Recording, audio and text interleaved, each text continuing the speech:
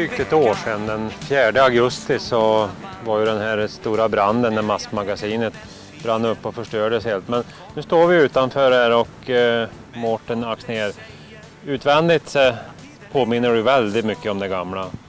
Ja, det var ju vår och arkitekternas ambition så att säga att det skulle smälta in i, i det här kulturkvarteret Vågen. Då. Och jag tror ju att någon som har varit borta från stan ett eller två år de kommer tänka oj har de målat om och vad fräscht det ser ut va? Det gamla, gamla huset. Eh, faktum är att det är ju egentligen ingenting som är så likt. Det som är likt är ju färgen och att det är fönsterluckor och de här fejkade luftintagsutsticken på huset. Då. Annars är ju fönstren mycket mer symmetriska nu och så här så att det egentligen är det ingenting som är exakt lika. Man har ju ändå lite känsla av att panelen har gjorts för att se lite gammal ut och, och, och färgen är också lite matt. Så. Ja, det är ju farlig rödfärg. Eh, panelen, här lockbrädorna som det heter, de är ju vankantade. Det vill säga det är ju spillvirket längst ut på en stock som gör att de blir lite osymmetriska. Så just det som de byggde förr gör ju att det ser äldre ut nu än vad det gamla så att säga, massmaskinet gjorde. För det hade inte vankantad lockpanel. Nej, men, men känslan är definitivt att det är lite det gamla massmagasinet när man står utanför. fall. Ja, det tycker jag absolut. Eh, Det här att det har gått så fort ändå, för det är då i princip ett år. Mm. Eh, Har det varit liksom att för att få komma igång med verksamheten att ni har eh, gjort några speciella åtgärder för att det skulle skyndas på? Nej, inga speciella åtgärder men vi har ju heller inte vilat på lagrarna så att säga någonting utan vi har ju ja, nästan samma dag så att säga, vi stod här i askresterna så sa vi att det här ska upp igen. Då. Sen har ju vägen kantats av mycket svårigheter och motigheter och fram och tillbaks men nej, vi har ju lyckats in, inom, inom ett år så att säga. Vilka företag är det då som dels som har fått ritat? Ja, det är ju arkitekter har ju varit Gustafsson Edgren här i Kristinehamn och de har ju verkligen lyckats med, med, med de förutsättningar som, som vi har talat oss samman om. Va? Dels att säga att det ska passa in och se ut lite grann som gamla massmagasinet och invändigt också att man ska få den här känslan, atmosfären som jag tyckte var så viktig att försöka bibehålla. Och det har de verkligen lyckats med. Byggherre? Eh, generalentreprenör för bygget har ju varit Skanska, Skanska Mellansverige AB i Karlstad, men de håller på att etablera sig här i Kristinehamn. Och jag tycker det är roligt att det är Kristinehamnsföretag som har varit med och byggt upp massmagasinet. Det är, det så vi måste tänka idag tycker jag. Ja, försvar har varit att det är väldigt mycket Kristinehamnsföretag inblandade. Ja, så mycket vi har kunnat, kunnat styrt det så att säga. Det här har ju handlats upp med anbud och alltihop men så har man ju sneglat till att har de legat lika så försök välja Kristinehamnsföretag i första hand. För om vi ser det utvändigt här, jag vet att plåtarbeten är något som heter Kefre som finns i Kristinehamn. Ja, Och eh, vi ska kolla lite mer på det invändiga också, så jag tror vi flyttar oss in får vi se. Entrén är ju annorlunda. Här var det en liten dörr och eh, ganska lockigt tak kommer jag ja, det är ju som jag säger då, vi har ju varit i huset i fyra år tidigare och alla med halvmetrarna och decimetrarna hit och dit har vi kunnat rätta till nu då. Så att det ska passa mycket bättre. Och stor och fin entré. Men jag tror vi börjar med att gå upp och, och hälsa på, för jag vet att ni har fått in hyresgäster redan. Ja, det stämmer. Det har vi fått. Då börjar vi uppe, vår husesyn. Ja.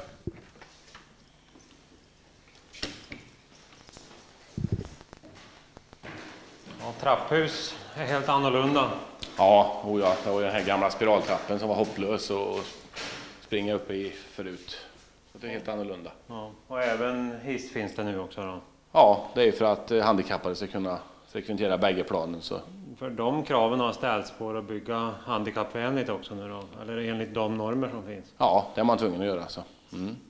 Men så var det ju definitivt inte förut. Nej, det var, det var omöjlighet för en handikappad att ta sig upp på andra våningen tidigare. Så det är ju bra. Och här är första hyresgästen. Redovisningskonsult står det här på skyltar som ska upp. Så. Ja.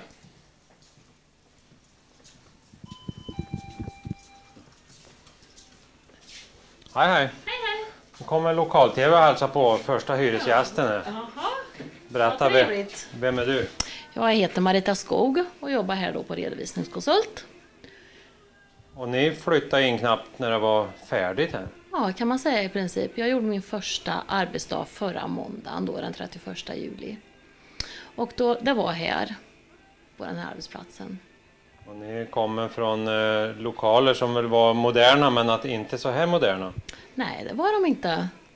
Det här är ju jättefint. Det här har vi ett litet rum var också, vilket är bra även för kunderna. Och flytta in till centrumet och stan, är det något som också känns skönt? För mig privat, personligt, så, så tycker jag det känns jättebra att slippa då bilen och kunna gå ut på stan en liten kort sväng. Det tycker jag. Så ni tycker att ni känner er väldigt nöjda ni har hamnat i massmagasinet? Ja, det tycker jag. Och bankerna har vi ju här nära också. Så det tycker jag. Och mycket utav kunderna antar jag? Ja, precis. Mm. Vi ska kika lite hur ni har det. Ja, varsågoda. Och Det var redovisningskonsult. Det, det ser faktiskt större ut här uppe nu. För det var ju inte så mycket plats tidigare på övervåningen. Nej, vi har inom ramen för samma skal då eh, fått ut 200 kvadratmeter mer på övervåningen i och med att vi sänkte stamplanet. Den ursprungliga byggnaden det var ju egentligen tre våningar. Det var ett lågt mellanplan då byggde man ju förr i världen. Som var omgjort till två. Därför var det oproportionerligt stor eller hög nedervåning. Och då blev det mycket mindre golvyta uppe. Så i och med att vi sänkte den så vann vi 200 kvadratmeter. Så det är 200 kvadratmeter större invändigt. Så fastigheten är inte högre egentligen eh, totalt sett? Nej, det är den Nej, inte. Nej. nej. Bara att den är upplyft i ena änden så att säga. För den, den höll ju på att sjunka fastigheten. Så den är 50 centimeter upplyft men själva huset är inte större i sig. Här har du också en hyresgäst som har flyttat in i ett Ja, rummen. det är Hans Andreasson Revision som har hyrt ett kontorsrum här. Vi har ju ambitionen, vi kommer att komma bort här till, här har vi ett litet kontor också. Här har jag eh, embarkerat mig för närvarande. Men det är bara tillfälligt, jag ska inte vara här, jag ska flytta ner i receptionsdisken med mina papper. Men, men Medborgarskolan flyttar inte tillbaka hit? Nej, det blev inte så nu utan det, det, det var de lokalerna som redovisningskonsult har som var tänkta, eller ja, byggda för Medborgarskolan så att säga. Men av ekonomiska skäl så stannar vi kvar på Norra torget 2 på gården. Eh, Vi kommer nu in i en avdelning här med tre grupprum för konferens, de stora konferensrummen nere. Grupprum för 8 till 10 personer varifrån man vill splitta upp sig i grupper. Så är det tänkt från början i bygget. Sen hann vi ju inte mer än flytta in i fastigheten förrän vi fick nya idéer om det här. Och då tänker vi försöka hyra ut de här till enmanskontor, alla de här rummen. Så bygger vi ett liknande, ja ett pentry här, en sån här trinettbänk. Så kan man ju då, för det är många idag som kanske är friställda, startar eget eller har haft hobbykontor hemma och vill försöka flytta ut det hemifrån. Kan man göra samordningsvinster kanske med kopieringsmaskin, faxmaskin och så vidare. Så det blir lite av ett kontorshotell. Och I huset fanns det både bokföringsbyrå och revisor också. Ja, det finns all tänkbar expertis att tillgå. Här inne är lite utav hjärtat nu då, det som eh, ska förse med värme och ventilation och sånt. Så här var det definitivt inte i det gamla. Nej, det var ju inte i närheten av den här storleken och kapaciteten på det. Det var det inte. Eh, det bygger fortfarande på eh, luftvärmepump trots allt ute och som vi bättrar på då med en elpanna när det inte går upp hit. Eh, felet om vi ska säga det i den gamla fastigheten det var att det var vattenburen golvvärme. Och det bygger på att man värmer upp då hela bottenplattan. Sen är det ett väldigt långsamt system för det tar ungefär ett dygn åt ena eller andra hållet. Va?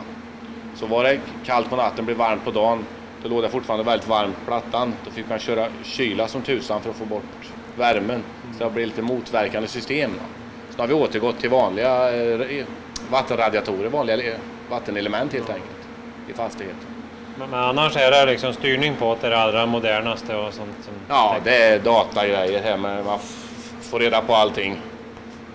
Ja, det är inte värt vi kanske går in för mycket på det här. För, men, men att datamässig styrning på, på värme och eh, ventilation också då. Ja, värme, ventilation, kyla och det är ju avkännare på allting som ska gå in och styra och öppna och så vidare. då. Är det Kristinehamnsföretag som har varit inblandade i det här också? Ja, det är ju MPI Ventilation som har dragit hela den här fysiska dragningen av alla rör och alltihop och även i viss mån styrningen av det hela. Då kan vi ta lite de andra. När det gäller el så har ni haft eh, också Kristinehamnsföretag. Ja, det är ABB C.O. Nilssons som har gjort elinstallationerna. Och rörsidan. Rörsidan är då Runes Rör som har gjort. Ja, Ja, det, är, det är de här då entreprenörerna, underentreprenörerna som gör jobben. Men även på projektörssidan eller de som har projekterat det också Kristinehamnare. Eh, VVS-teknik, eh, Peter Kristhammar har ju då ritat så att säga rörjobben som sen då C.O. Nilsson, eh, som Runes rör har utfört. Va? Bengt Röjfors elkonstruktioner har ju så att säga gjort ritningarna för all el som ABB C.O. Nilsson sen har installerat. Har du någon hum om hur många du har sysselsatt här? Ja, sammanlagt 15 som har passerat så att säga under byggtid så är vi nog uppe i 30 personer. Det tror jag. Och mestadels kristinehamnare. Ja, Då kommer vi ner på bottenvåningen igen. Ja. Vid entrén. Och ska vi börja titta på det som är konferensdel då? ja, det är ju det som är stommen i huset så att säga. Det är ju konferensanläggningen. Idag när vi gör det här är det torsdag den eh, 10 och eh, vad jag förstår så har ni haft premiär för konferens idag. Ja, vi har haft en tvådagars konferens här nu och premiär. Och det är lite grann internt kan vi säga för det är Medborgarskolans Bergslagsdistrikt som har haft eh, Värmland, Närke, Västmanland. Ja, hur många får ha plats i den här? Det, är, det här är den stora. Det här är konferenssalen. stora konferenssalen, ja. Röda rummet får vi väl kalla den för med tanke på det röda stolar. Eh, 65 personer i plenissalssittning som det kallas då när det står biograf uppställt så här. Och det, det finns faktiskt lite kvar utav den gamla känslan i det rummet som var. Fast den, jag vet att det var något ställe där det låg en sten som stack fram och lite sådana här saker i gamla. Ja, mycket av den där skärmen, det- den tappar vi ju trots allt. Vad, vad vi har satsat på nu, vad arkitekterna så att säga, har jobbat efter det är ju att göra entrén och receptionen och den här delen speciell. Det här blir ju liksom fullt modernt. Det skulle kosta alldeles för mycket att få stenar att sticka upp på plattan och så vidare. Ja, så den jo, skärmen är ju tyvärr Jo, borta. det förstår jag. Men, men ändå, känslan finns lite kvar i huset tror jag. Ja, och det är roligt att höra. Det är många som har sagt också att eh, känslan finns kvar och det är ju ett bevis för att vi har lyckats.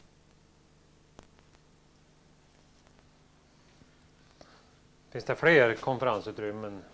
Ja, det vi har ju, det är ju konferensutrymme nere nu så det var den salen för 65 personer då med de röda möblerna i röda rummet. Här har vi ett som kallas för gröna rummet. Gröna stolar, eh, 40 personer. Det där var inte väldigt sådär fantasifullt. Kommer det att bli de namnen eller blir det mer spännande? Vi får se. Ja, Eh, överhuvudtaget med, med sådana saker och med, med inredning så här, så sånt måste få växa fram lite grann. Annars blir det lätt krystat. Men som arbetsnamn har vi kallat dem för röda, gröna och gula rummet. Gula, gula tar 25 personer. ja där har ni gula stolar. Ja, rätt hissat. Ja. Ja. ja, men det är ju kanske ganska logiskt det. Ja, här har vi ju kapprum då med handikapp, WC, och dam och herr toa. Det är väldigt handikappanpassat idag. De här trappstegen som fanns i gamla är ju borta. Trösklar finns inga. Hörslingor och såna här saker kommer att installeras också. Ja, det är mycket modern teknik som ni passar på också att få med er när, när det gäller belysningar och allt sånt här också. Då. Ja, det är ju sån här, vad kallas det för? Att man kan Ja, reostat eller något sånt renstat, ja just det, så att det går att höja och sänka Ja. styrkan på belysningen. Och en helt annorlunda reception, eller vad ska vi kalla det? Ja, jo, det är ju tre delar, delat på tre sektioner kan man säga, även om den är sammanhängande. Så den här delen den är ju till för att serva konferenserna. Det är det första man möter så att säga när man kommer in i fastigheten. Så frågar man efter någon av hyresgästerna i huset eller har några andra grejer så styrs det ju härifrån. Så här sitter då så att säga en receptionist. Så det här servar man i första hand konferensanläggningen. Sen flyttar vi oss över hit. Nu har vi ju, här ska det då stå en sån här konditorikyl där vi kan exponera smörgåsar och bröd för kafédelen. Kaffemaskinen. Sen går den upp i höjd hit och det här är då baren. Bardisken då för, för ja, öl då, och vin och dylikt. Kommer ni att ha eh, öl och vinrättigheter eller vad? Ja, det hoppas jag. Vi, hade ju det innan branden och eh, tvingades då tyvärr söka nya tillstånd allting. I och med att det är en ny fastighet så är lagen sån. Men det hoppas jag att vi kommer att få. I övrigt nu då, det vi ser framför oss på andra sidan bardisken, är det en restaurangdel? Ja, den första delen här eh, med kaféborden, det är café pubdel kallar vi den delen för. Sen har vi ju en vikvägg här borta eh, där, vi ser matsalen innanför. Då kan man ju välja om man vill ha helt uppfällt så här, vilket jag tycker ger en härlig rymd åt nedervåningen. Eller man kan dra för om det är något sällskap som vill ha sitta ostört där inne och ändå fungerar kaféet här ute. Vilken typ av arrangemang kommer ni att använda till? Ja, i första hand som jag då säger, det är ju konferensverksamhet. Men vi ska ju även försöka ha då, ja, i samarbete med Medborgarskolan och även andra studieförbund förhoppningsvis, någon form av konserter och vi kan väl gå över till flygen här som vi har. Ja, det har ni också fått in här. Ja, det har vi införskaffat och satsat på att vi har ett riktigt instrument. Det kan väl vara härligt att ha någon barpianist eller lunchpianist som sitter och klinkar lite grann. Eller ja, jazzkonsert, vad som helst. Ett piano eller som det här fallet en flygel är ju alltid användbart. Det som jag, jag vet som ni hade tidigare, det var ju då eh, till och med dans och en del konstutställningar och sånt. Kommer det att bli så tror du? Ja, vi har ju öppet hus nu på tisdag den 15 augusti och eh, då hänger ju vi en akvarellutställning med bland andra Fritz Karlsson och Bo Bergström, Margit Aronsson, Siv Björkdahl Jonsson, Sven Skog. Hur länge pågår det? Den håller på i 14 dagar. De här möblerna, var kommer det ifrån? Eh, De flesta möblerna kommer från Italien. Eh, Konferensmöbler kommer ifrån Norge. Och där har jag handlat upp av också i Kristiansföretag, vilket är jätteroligt. Det är PMA inredningssnickerier som jag har handlat möbler av. Jaha, så att det finns också att få tag på här. Finns det restaurangdel så finns det också ett kök, men eh, ni kommer inte att laga maten själva här? Nej, det här bygger på principen att det är ett mottagningskök, det är inget restaurangkök. Men eh, jämfört med vad det var tidigare, det, det, Pentry var nästan att överdriva och kalla det för som vi hade tidigare. Så det här är väl egentligen den största förändringen. Vi kommer att baka och vi kommer att göra lite lätträtter och så, men, men till luncher och middagar så samarbetar vi då med ytterligare en annan Kristinehamnsfirma. Det är ju restaurang Mamsells som vi har avtalat med, som levererar maten. Hur många ätande gäster kan ni ta emot? Eh, ja, hundra stycken. Om man att säga utnyttjar både café och restaurangdelen och har det öppet. För möblerna är gjorda så att de kan passa ihop med varandra. Och direkt ifrån eh, restaurangdelen så finns det en liten uteplats också i ordning gjord. Ja, det gör det. Det är ju, här är ju underbart tycker jag. Efter maten här och på lunch och dylikt så kan man ju ta med sig sin kaffekopp och gå ut. Och de som röker eh, kan ju göra det då. Annars kan man ju sitta här i solen njuta av sin kaffekopp. Bakfickan kallar vi det här. Vi hoppas ju även sen på sommaren att kunna driva sommarkafé. sommarcafé. Och det är ju väldigt lämpligt här. Eh, Med närmaste tiden när det gäller verksamheten så är det konferenser som är den tunga biten i fastigheten i alla fall. Ja, det, ska, det, är, det är basnäringen så att säga i bolaget. Det ska vara konferensverksamhet. Det kommer aldrig att bli det här med att eh, man satsar på luncher så att folk ska komma spontant liksom för att käka lunch. Eller? Vi får se lite grann var det tar vägen. Eh, Lättluncher har vi nog kan tänka oss att ha. Det beror lite grann på beläggningen på konferenssidan och allt det här. Överhuvudtaget bygger det mycket på flexibilitet. Vår verksamhet, eh, konceptet från tidigare är ju inte så hemskt mycket ändrat. Man kan ju hyra lokalerna för, ja, vi har ett bröllop inbokat till helgen till exempel. Mm. Jag jag vet eh, den dagen när vi pratades vid efter branden och, och ett stort bekymmer var då att orderboken var ganska full. Och, eh, under det här året har ni säkert tappat en del och hur eh, kommer man jobba för att komma tillbaka? Liksom? Ja, marknadsföring är väl den absolut viktigaste biten nu, det tror jag, för att komma igång igen. Det är just, vi har gjort utskick till de kunder som vi kunde uttyda så att säga, som vi haft tidigare ur orderboken.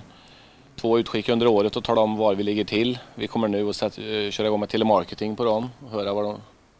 Hoppas att de kommer hit och besöker oss igen. Och vad jag hoppas på det är att många kommer tillbaka åtminstone en gång av, av nyfikenhet. Och då gäller det att ha en, ha en servicenivå, en servicegrad som är tilltalande så att vi på något sätt får tillbaka dem. Och en miljö som är lite unik, lite speciell. Läget i, Kristinehamn är ju underbart. Det bör finnas alla förutsättningar. Mm, den här gaveln ut, när du pratar om yttre miljö, är ju väldigt fint med, med vatten runt omkring. Här måste väl kunna finnas eh, möjligheter att utnyttja det också? Ja, jag har ju visioner. Styrelsen och jag så att säga, har ju visioner om hur vi, vad vi ska kunna göra av det här. Det beror ju lite grann på, vi måste ju föra en dialog med Kristinehamns kommun givetvis. Vad jag hoppas på det är att vi, trafiken fortfarande kan vara avstängd runt, runt hörnet här. Eh, sen har jag hört att eh, det från kommunens sida finns ett önskemål, där, jag vet inte var i planeringen det ligger, men att det blir gatstensbelagt, likadant som Hovslagargatan, runt hela det här kulturkvarteret Vågen. Och då ser jag framför mig här någon form av trädäck, ni ser de här 50 centimetrarna som huset är höjt nu. Att man i anslutning till det bygger ett trädäck för, för utekafé och uteservering här. Att man lämnar eh, i den här eh, Kullerstensgatan plats för en bullbana på framsidan. Sån här eh, målar någon parkschacksrutor så att det blir liksom ett aktivitetsställe för folk, för Kristinehamnare. Och jag menar närheten till vattnet här, de här stenpollarna på kajen. Jag har också sagt att det ska göras med, med jämna mellanrum och att det ska hänga kätting så att det här vita fula plåträcket kommer bort. Så det, det skulle kunna bli guldställ i Kristinehamn. Här. Det skulle bli en fantastiskt fin uteservering helt enkelt. Ja, sol hela dagen, kvällssol till och med. Och det, det är ju sånt som jag tycker behövs. Ja, det, det, låter ju som att det är svårt att hitta ett bättre läge egentligen. Nej, det är som sagt var, återigen, det måste finnas alla förutsättningar. Och kommun, Kristinehamns kommun har ju hittills varit väldigt välvilligt inställd så jag hoppas att de fortsätter att vara det. Och nu då när ni har kommit in och som en avslutning här att eh, det, det, känns bra nu då? Ja, det känns jättebra.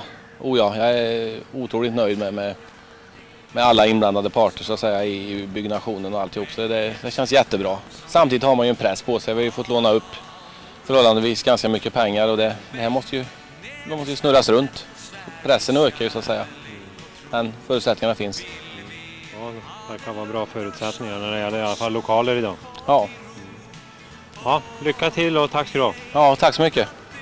Jag vill även passa på när jag är i sändning här och tacka alla kristna hamnare under det här året som är ryggdunkningar och glada tillrop. För det har verkligen värmt så att säga och de har stöttat. Så tack så mycket för det.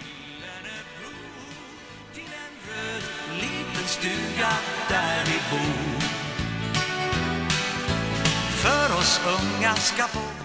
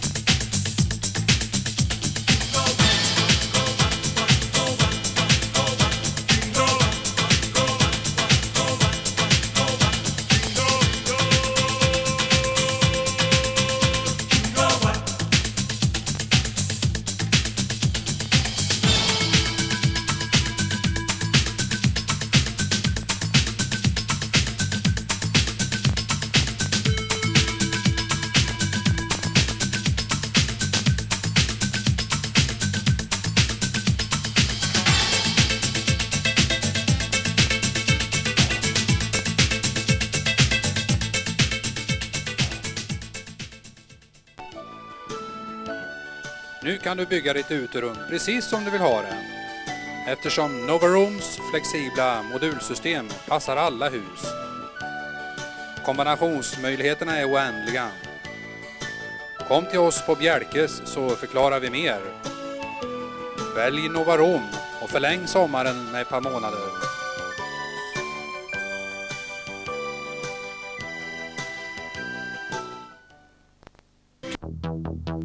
Behöver du snabba transporter? Anlita Kristinehamns budtjänst. Vi servar 10-15 stora som små företag inom Kristinehamn varje dag. Vi kör även till Storfors, Nykroppa, Karlskoga varje dag. Torsdagar även Hällefors, Lesjöfors, Grythyttan. Vi åtar oss dessutom långkörningar vart ni vill inom Sverige och Norge. Max 1000 kilo. Med andra ord, vi på Kristinehamns budtjänst, vi skräddarsyr dina transportbehov. Vill du veta mera så ring oss.